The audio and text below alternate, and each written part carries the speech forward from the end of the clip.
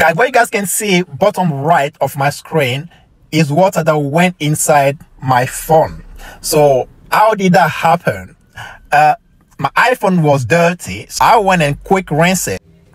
So after rinsing my phone, it stopped working. So this the home screen button pops up. See the one that you can use on the screen as as as a replacement home button that pops up.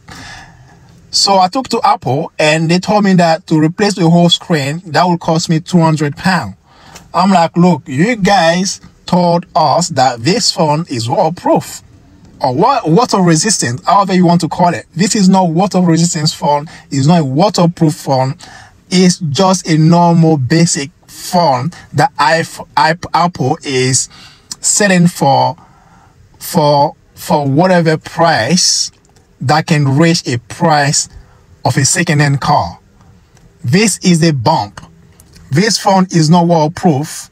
So Apple should stop this stupid marketing saying that their phone are waterproof or water resistant because that that phone wasn't in soggy water. Didn't leave it in a soggy water where you can say, oh, if your phone been in water for like one minute, it can be damaged. Then yes, I can understand that. I can put my hands up saying yes.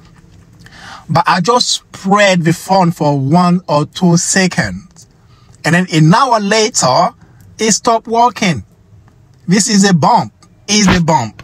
So be careful out there thinking that your iPhone is waterproof or water resistant. It is not. Do not live in the water or do not go swimming with it because you're going to damage your phone and those phones are seriously expensive.